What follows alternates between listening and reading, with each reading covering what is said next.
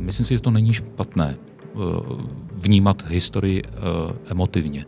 Na druhou stranu je špatné, jestliže se nám vytratí fakta a hodnotíme některé věci pouze na, jenom na základě emocí. Stejně tak na druhou stranu je ale jako zcestné hovořit, jako že Praha byla osvobozena Vlasovci, nebyla osvobozena Vlasovci. Ale hodně těch bojů si vybojovali povstalci a, a Pražané sami. Eh, Eduard Stehlík, historik a šéf památníku Lidice, eh, vítám vás u nás ve studiu. Děkuji moc za pozvání. Eh, vy jste se v únoru stal šéfem památníku Lidice. Moje první otázka je možná hodně obecná, ale zajímají mě spíš ty pocity, jaký to je, když se celoživotní historik, a ještě vy jste vlastně vo, historik, voják, no vojenský historik, stane šéfem tak významného místa, jako je památník Lidice. Kdybych to měl eh, říct asi na jedno slovo, by to byla obrovská zodpovědnost. Um, pro mě to nebylo místo neznámé. To se přiznám otevřeně. Já jsem vlastně s památníkem Lidice spolupracoval od jeho vzniku. On vznikl v roce 2000, tedy relativně pozdě. A v zápětí s jeho první ředitelkou, paní Marí Tilopilovou, jsem vlastně začal dělat společné projekty mezi památníkem Lidice a tehdy vojenským historickým ústavem, kde jsem pracoval. Oni nám půjčili tehdy velkou řadu předmětů do výstavy Atentát operace Antropoid, kterou jsme dělali v roce 2002 a pak začala spolupráce na knížkách, spolupráce na vzdělávacích programech, na stále expozici, na řekněme, putovních výstavách. Takže pro mě to místo nebylo neznámé, i když se přiznám, kdyby mě někdo ještě před rokem řekl, že nejenom, že budu bez uniformy, ale že budu sedět v Lidicích jako ředitel, tak bych si myslel, že, že je to hodně zvláštní uh, futurismus. Vy jste, vy jste uh, byl ve vojenském archivu, uh, takže máte zkušenosti s, i s vedením těch institucí, ale přeci jenom, když a napsal jste jako poměrně ceněnou publikaci, která v roce 2005 byla hodně oceňovaná a vlastně zaznamenává celý ten příběh Lidic. Uh, Jaký to vlastně je, když vy to vnímáte jako historický místo? Mě zajímají ty emoce jako historický místo a najednou se tam máte starat třeba o sekání trávníků. Hmm. Nebo co to vlastně že... obnáší hmm. šéfovat takový památník? Je to, mm, jak správně jste řekl, je to vlastně historické místo, kde se stalo i příšerné věci. Uh, není to standardní muzeum, není to standardní archiv, je to to, čemu se v poslední době začalo říkat vlastně paměťová instituce, kde kolikrát nepracujete s konkrétními sbírkovými předměty, nepracujete se stavbami, které stojí na tom pětním území, ale pracujete s tím prostorem, eh, kde se to stalo a pracujete s osudy lidí, kteří tam mnohdy už nejsou, protože buď byli povražděni, anebo už eh, vzhledem k tomu, že o těch událostí nás dělí více než 70 let, nás navždy opustili. To znamená, je to za mě to jsem říkal, obrovská zodpovědnost, protože vy vlastně um, máte uchovat, a to je i ve zřizovací listině památníku lidice, uchovávat památku na uh, ty povražděné, na co to, to, co se tam stalo, aby se nic podobného nemohlo opakovat. A na druhou stranu musíte řešit to, co jste naznačili, i naprosto běžné věci, jako je posekání trávy na pětním území, aby byly zastřižené uh, růže v růžovém sadu. A vedle toho máte velice jako významnou věc ty věci propagovat, to znamená a pracovat s mladou generací, pracovat s mládeží, dělat vzdělávací programy. Um, jsou tam takové, kromě řady vzdělávacích programů, jsou tam dvě velké soutěže, které jsou určené pro děti. Jednak je to dětská vědomostní soutěž Lidice pro 21. století, která letos už má 15. ročník. A potom je to Mezinárodní dětská výtvarná výstava, které se účastní děti z celého světa. Jenom v letošním roce to bylo ze 78 zemí přes 22 tisíc prací. A je to výstava, která opravdu funguje už 48 let. Uh, největší výstava na světě. Takže to jsou věci, řekněme, běžný provoz. A potom pochopitelně vždycky uh, se staráme nejenom o lidice, ale i o ležáky. Vlastně u pětní území další obce, kousek od Chrudimy, která vlastně byla uh, vystavena stejnému násilí jako lidice snad ještě možná horšímu, protože tam popravovali i ženy, eh, tak eh, musíme tyhle ty věci vlastně pokrývat eh, a říkám za mě, jak běžná činnost, tak činnost historika, činnost vzdělavatele, tohle je tam všechno se to snoubí, ale říkám, na druhou stranu je to, co vy jste říkal, je to potřeba brát srdcem. Vy to nemůžete k tomu přistupovat jako k nějakému běžnému problému. Vy se musíte k tomu vytvořit vztah. A pro mě, když jsem psal kdysi tu první knížku o lidicích, tak to byla záležitost taková, já jsem do té doby pochopitelně jako většina lidí bral lidice jako nějaký možná už malinko neživý symbol. Samozřejmě jsem znal pětní území, znal jsem tehdy jako malý kluk eh, hrob lidických mužů, tehdy tam ještě nestál pomník lidickým dětem od Marie Chutilové. A eh, trošku se zatím ty lidice vypadaly jako jakýsi nějaký betonový kvádr s tím nápisem lidice a jako kdyby se už úplně z toho vymazali ti lidé, to, ten konkrétní příběh té české vesnice. A já, když jsem potom byl svým způsobem té první paní ředitelkou přemluven, abych se pustil do knížky o lidicích, tak já jsem, mě se do toho nechtělo, ono těch knížek bylo už desítky. Ale najednou, když jsem si je všechny prošel, jsem zjistil, že nikdo vlastně snad s jednou výjimkou nezačíná vypravování o lidicích vlastně dějinami lidic, ale teprve tím zločinem. A já jsem si říkal, že pokud chce někdo tu vesnici mít rád a vytvořit si nějaký vztah, tak musí nejdřív vědět, kam chodili, chodili lidi do hospody, kde si kupovali Ehm, máslo, ehm, maso, eh, kam si chlapi chodili pro cigarety, eh, kdo jim nosil poštu a, a eh, že tam byl výborný hokejový klub a že tam byl, kluci hráli fotbal a že tam byl sport dobrovolných hasičů i s malýma dětma, že tam dokonce uh, existoval čtenářský klub mladého hlasatele těsně před druhou válkou, nebo vlastně už za té války, takže Ehm, vidět tam osudy normálních lidí a že to nebyla nějaká malá vesnice, která existovala nějakých 100 let, ale že tam byly statky, které měly 300 eh, letou i mnohem déle, delší historii, takže najednou vidíte, když přijete na to území, máte k tomu tenhle vztah, tak vidíte, nevidíte to prázdné místo. Já vím, kde stála která hospoda, já vím, kdo, která měla které štamgasty, vím, kdo tam chodil, eh, jak se jmenovali děti těch lidí, kteří tam bydleli jako já tam vidím tu vesnici v tom údolí, když už tam dávno není. Uh, to, to je právě jakoby tam, kam mířím, eh, protože já si pamatuju, samozřejmě v Lidicích jsem byl mnohokrát a je to konec konců, není to daleko od Prahy, což lidi si často... To většinou neu... lidi překvapí. lidi, si, lidi si neuvědomují často, že, že opravdu je to za rohem, nebo je to, já nevím, 15 minut autem. Ale když si pamatuju ještě, když jsme tam jezdili se školou na, na exkurze, nebo jsem byl jednou, dvakrát, tak to na mě vždycky působilo trošku chladně, protože je tam nějaký ten památník, sousoší, eh, pak nějak trosky statku a podobně. Eh, ale už tam není vidět ta vesnice a, a vlastně to muzeum, který je, je nedaleko od tamtud, nebo vlastně na tom místě v podstatě, tak lidi už často vůbec nevnímají, nebo tam mhm. nejdou. A, a není vůbec špatný, teda mimochodem.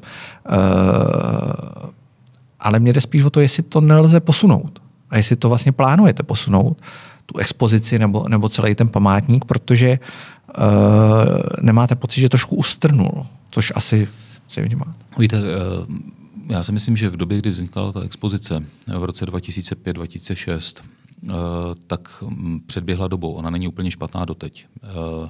Na druhou stranu, stejně jako se obrovským způsobem vyvíjí nejrůznější typy technologií, tak si myslím, že tady je obrovský prostor pro to sdělovat vlastně ten příběh lidic, ať už na tom pětním území nebo, nebo v muzejních expozicích ještě jiným způsobem. Eh, já si třeba nedovedu představit eh, před pár lety, když ta expozice vznikala, že byste prakticky každé dítě, že by mohlo mít v kapse chytrý telefon že se může připojit eh, na Wi-Fi památníku, může si stáhnout fotografie, může si stáhnout data, může si stáhnout vypravování, už jenom potom, kdyby se pohybalo po pětním území.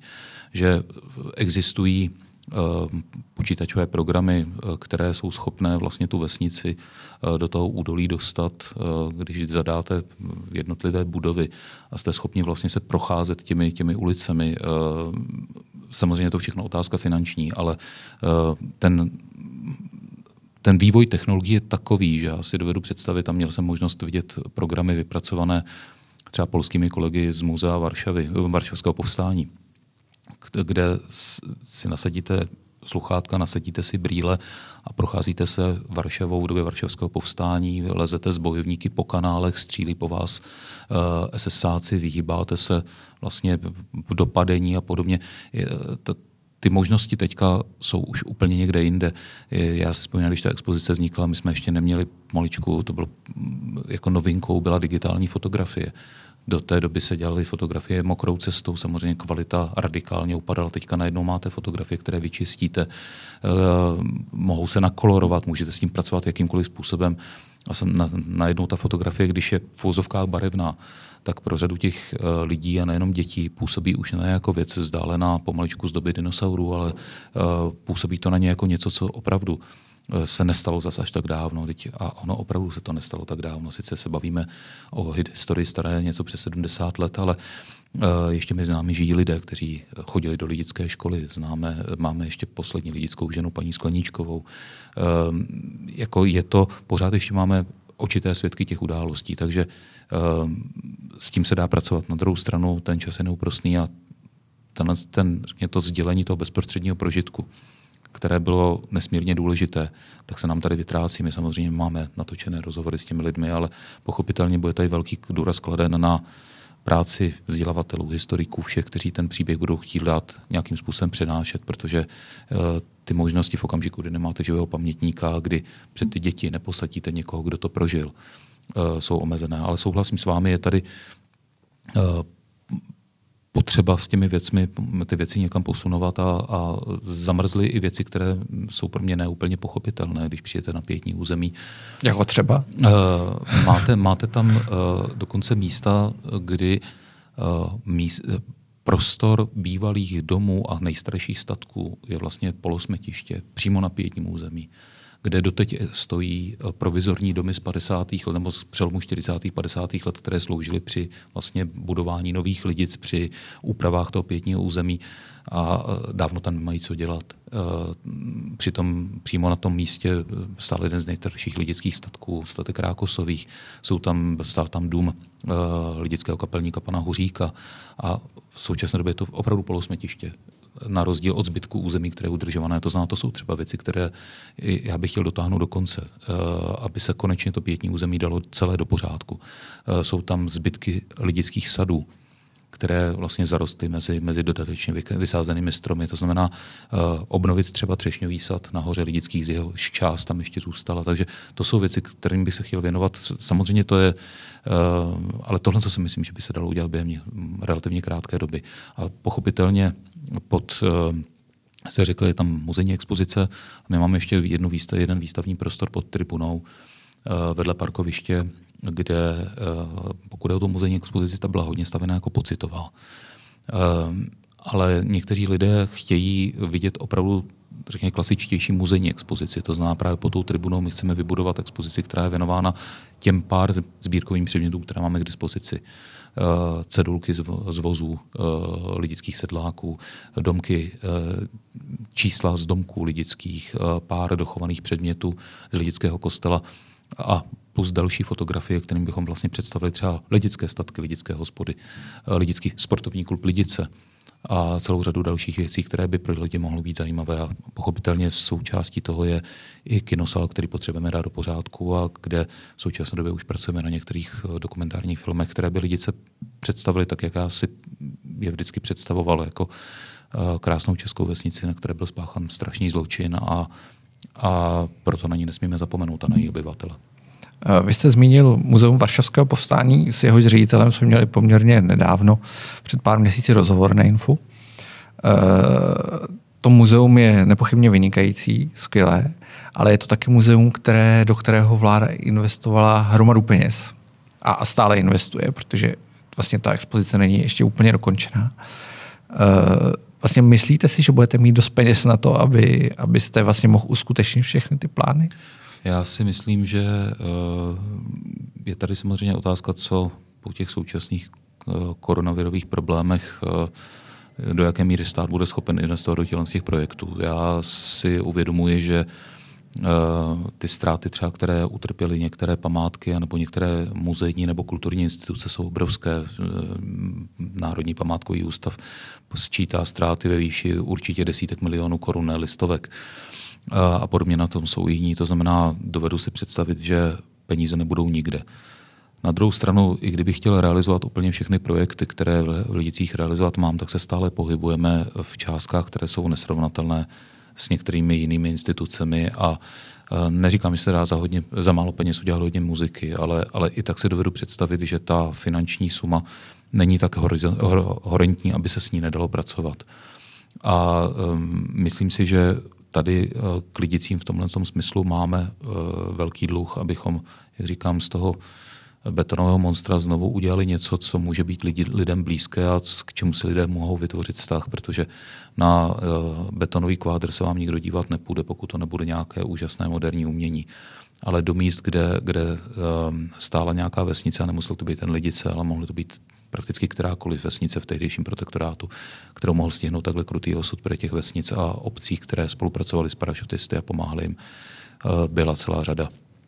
Takže um, myslím si, že jako memento uh, válečného zločinu, který se stal hluboko v Evropě, ty lidice budou vnímány nejenom u nás, ale i v mezinárodním měřítku stále. A um, já bych byl rád, aby lidice Eh, do Lidic smířili víc lidé od nás, než eh, ze zahraničí. Častokrát se stává, že spíš ti zahraniční návštěvníci tvoří většinu těch lidí, kteří do Lidic přijdou a kolikrát mě to překvapí u lidí, kde bych to nečekal. Když jsme, jako ještě voják, jsem třeba hovořil se svými americkými, britskými kolegy a, a přišla řeč na atentát na Lidice tak říkal, lidi sám bych se chtěl rád podívat. A přesně jak vy jste říkal, jsem říkal, no, tak pojď, tak sedneme do auta a tam. Říkal, no já nemám tolik času, jako večer letím. Já jsem říkal, podívej se, jedna hodina odpoledne, jsme tam za 20 letiště. minut. Jako, a je to u letiště, když by bylo. Několikrát jsme opravdu jsme to dělali, takže jsme zajeli předtím, než oni odlétali, jsme zajeli do Lidice, jak jsem je pak vezl zpátky na letiště. Takže. Konec konců je to oblíbená vesnice eh, pilotů, kteří lítají z pražského letiště nebo z různých letiště Václava Havla. Uh, vy jste když jste vstupoval, nebo když jste se stal šéfem Lidického památníku, tak to bylo za poměrně nebo ne z vaší strany dramatických okolností, když se bývalá ředitelka paní Lémanová, Le, Martina Lémanová, Martina ano. Lémanová dostala do, do sporu s těmi spolky, které pečují, nebo pečují o tu památku lidic.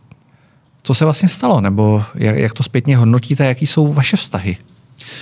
Já bych vás možná malinko opravil. Já myslím, že ten hlavní uh, konflikt nenastal mezi těmi spolky nebo mm, svazem, Českým svazem bojovníků za svobodu, jak to jednu chvíli bylo hodně prezentováno. Ale myslím si, že největší problém byl, že ten, pro, mm, ten konflikt uh, nastal mezi, mezi památníkem Lidice a jeho vedením a, a přímo přeživšími kteří, kteří najednou dostali, dospěli k závěru, že památník Lidice se dostatečně vlastně nestará o jejich památku a necitlivě dovolil eh, vznik reportáže, která na základě ne zcela ověřených informací obvinila jednu lidickou ženu z udavačství, navíc eh, eh, lidickou ženu, jejíž dcera Marie Šopíková patří, patřila patří a doufám bude patřit k vůbec k jedním z nejvýznamnějších pamětníků, se kterým památník Lidice spolupracuje. Ono to celé vzniklo eh, jednak knihou, která byla vydána v roce 2015, která se jmenuje Lidice zrození symbolu a posléze uh, reportáží České televize, která byla odvysílána v červnu loňského roku.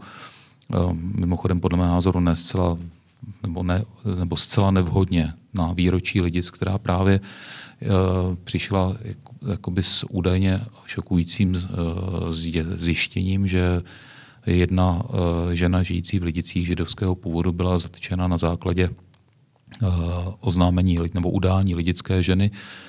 A, přitom vlastně celý tento případ, který uh, lidické um, naštval doslova do písmene a, a, a bolel, tak vzniklo opravdu na základě podle mého názoru špatně vyhodnoceného historického dokumentu, který byl navíc sepsán po válce a člověkem, který, navíc člověkem, který ve věci byl osobně výrazně zainteresován. Eh, četnickým vrchním strážmistrem Evženem Reslem, který právě tuhle židovskou ženu v Lidicích zatýkal a který podle mého názoru v době, kdy tento hlášení v prosinci 45 psal, se obával, že by mohl být obviněn z toho, že jeho zatčením této lidické ženy eh, došlo k, eh, řekněme, k nasměrování pozornosti nacistických bezpečnostních orgánů na Lidice, a protože on to zatčení provedl 2. června 1942, o den později v Lidicích gestapo zatklo pozatýkalo rodiny Horákových a Stříbrných, tedy dvou letců, kteří v té době sloužili v britském RAF a o týden později došlo k lidické tragédii.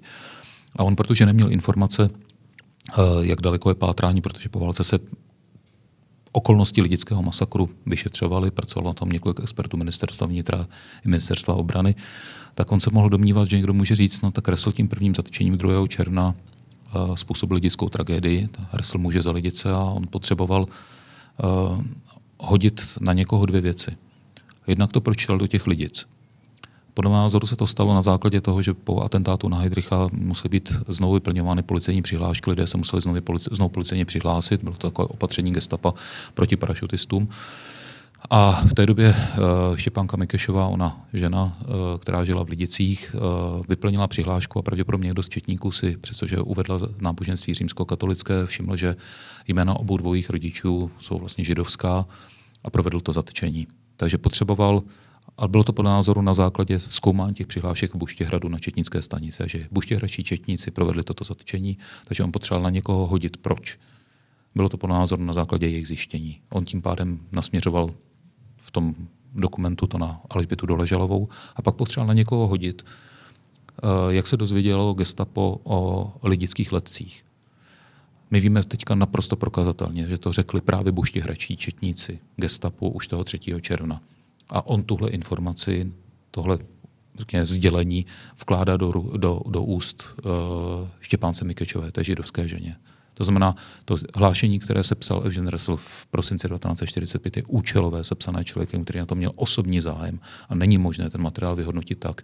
Navíc, když tam nikde v žádných jiných dokumentech není uvedeno, že by někdo provedl tohle udání. Navíc uh, tehdejší předpisy to dokonce přikazovali, pokud četník se dostal k materiálu nějakým udáním, musel uvést, odkud to udání bylo. Nic podobného neproběhlo. Na základě takovéto chabého účelového dokumentu obvinit eh, lidickou ženu z udavačství je hodně přitažené za vlasy a eh, nelíbil se mi potom přístup některých médií, nebo jsem jen ho nechápal, že začali víceméně atakovat lidice za to, když se ozvali proti tomuto, proti této reportáži a útočili na lidice eh, jako, a na přeživší jako na někoho, kdo se brání zveřejňování nepříjemných pravd. Přitom to pravda nebyla. A já jsem potom některým novinářům říkal, a co, co kdyby to nebyla pravda? No a to by byl průser, já jsem říkal. Přesně on, ono vlastně maličko došlo na ty vaše slova. Tou reportáží se pořád zabývá Rada České televize. Bude se jí zabývat ještě, protože teďka přišla korona krize, takže se k tomu ještě nedostala. Uh, nicméně ta reportáž v reportérech ČT, jak jsem se na ní díval, je prostě postavená na, na výpovědi jednoho historika, Vojtěcha Kincla, uh, jak ten se k tomu zpětně staví. Jako mluvil jste s ním někdy o tom? Já jsem s ním o tom nemluvil. Přestože se velice dobře známe, uh, ale prakticky od toho loňského roku jsme spolu nehovořili. Takže viděl jsem jeho vyjádření, které Eh, řekl eh, pro aktuálně CZ pro DVTV, ale mm, jak to na mě víceméně dělá dojem aspoň z těch jeho vyjádření, co, co jsem zaslechl nebo jsem viděl v médiích, tak eh, jemu to nepřijde, že by udělal chybu.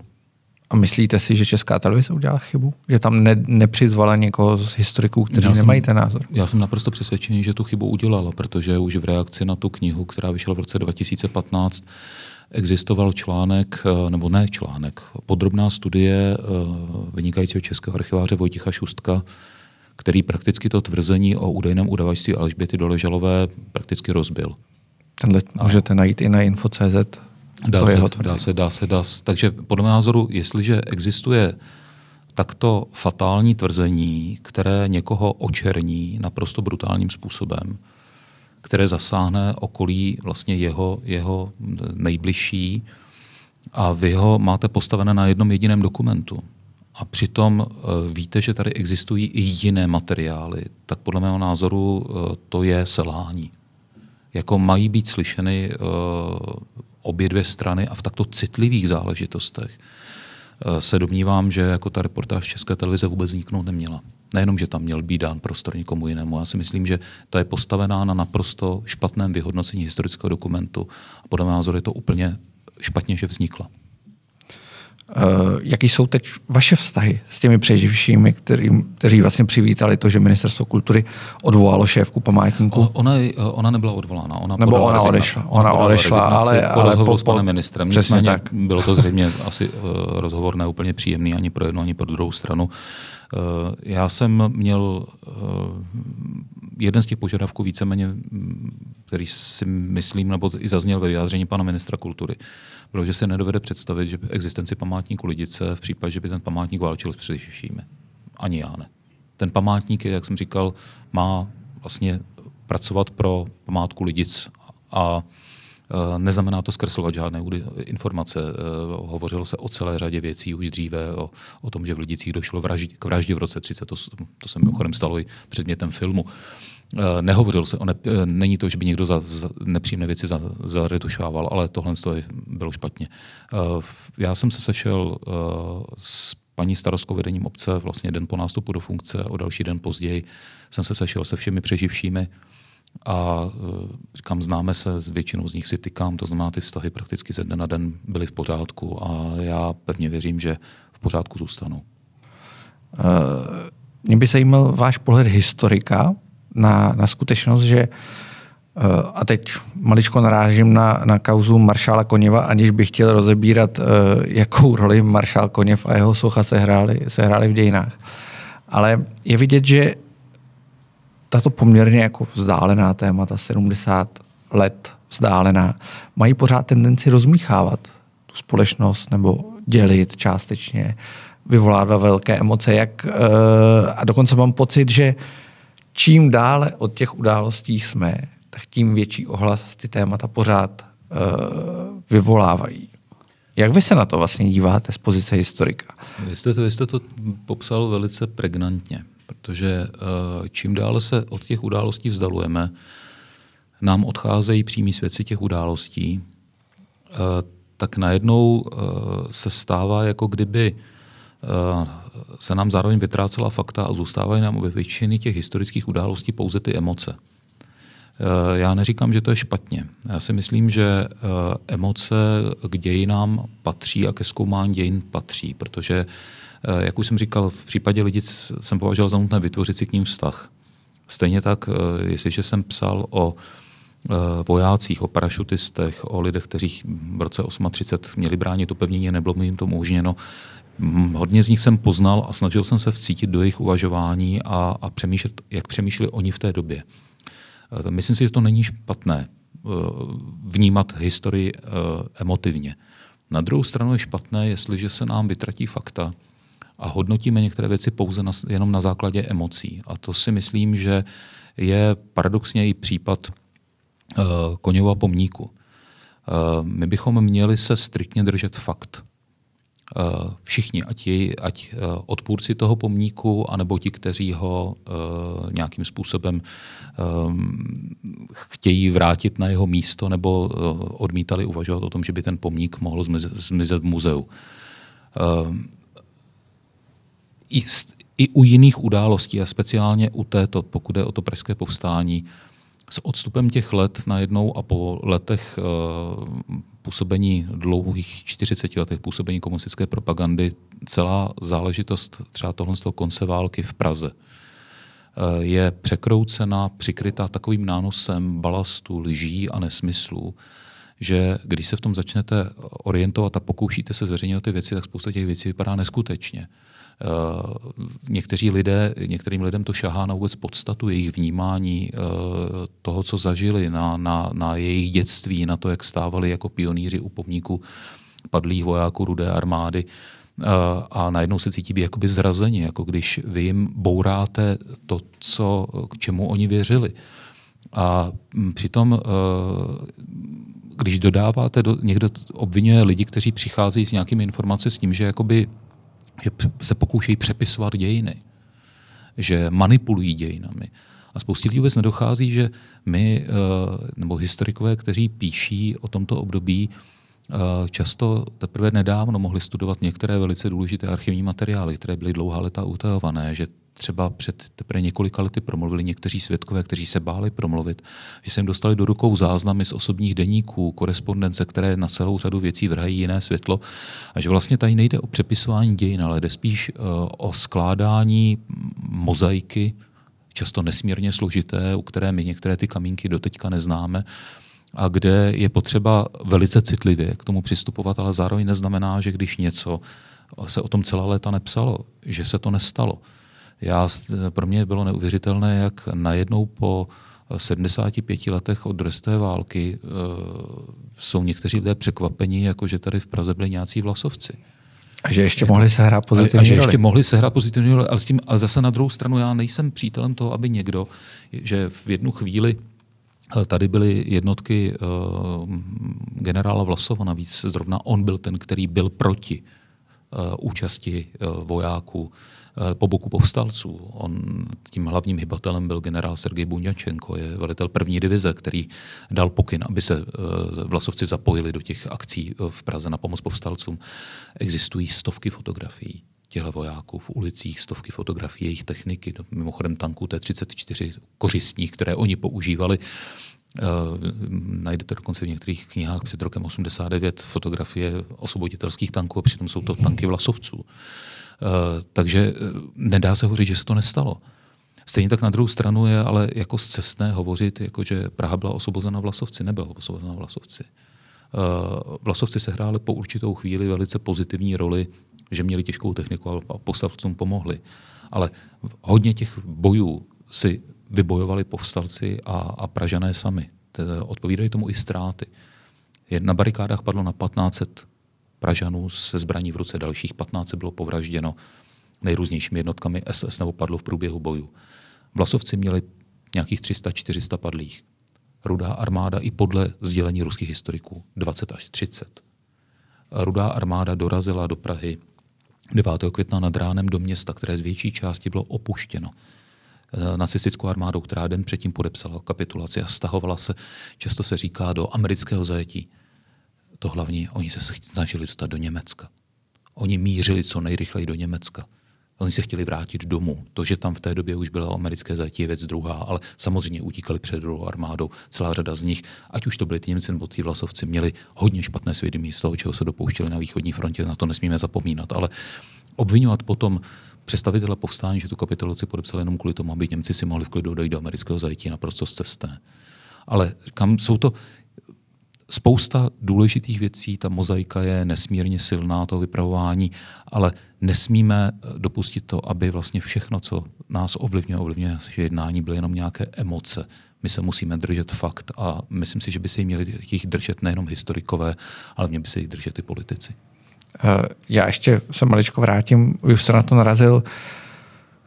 Je to pár dnů, co, co zase bylo výročí Pražského povstání a bylo to asi za mého života poprvé, kdy, kdy vlastně byla výrazná ta role, role těch Čechů, nikoli vlasovců, nikoli rudé armády. Samozřejmě o vlasovcích se mluvilo loni, dneska se mluvilo o roli těch Čechů a mě úplně poslední a čistě teoretická otázka, jak moc se vlastně v tom našem vnímání podepisuje eh, to rčení dějiny píší vítězové.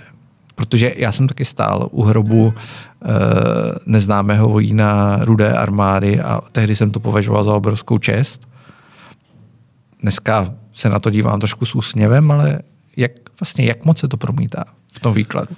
Eh, já si myslím, že se to naprosto fatálně promítlo eh, po roce 48, kdy ty dějiny byly odliněné, kdy konkrétní příběhy konkrétních lidí z nich byly vymazány. A je svým způsobem jedno, jestli ti lidé bojovali za svobodu Československa na východní západní frontě nebo, nebo na frontě domácí. Komunisté byli schopni vymazat z dějiny hrdinu Sovětského svazu Josefa Buršíka. Uh, já si, dě, ano, dějiny píší vítězové. To je bez pochyby, ale uh, měli by je, nebo pokud už je píší, tak je to zřejmě na ty první léta potom, co se to odehraje. Jestliže od těch dějných událostí je větší časový odstup. Jestliže jste schopen zkoumat historické materiály, které se dostali, dochovaly, jestliže vás těm historickým materiálům pustí, což v případě Pražského povstání a Pražské operace ještě stále ne všechno víme, co se stalo, tak uh, pak by s odstupem nějaké doby ty dějiny měly psát především historikové, zodpovědní historikové a lidé by se měli z jejich prací poučit. Děkuji, že jste přišel a děkuji za rozhovor. Hodně štěstí. Děkuji mnohokrát, vám také.